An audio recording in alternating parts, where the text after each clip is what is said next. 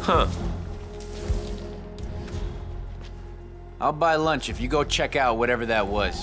Oh, okay.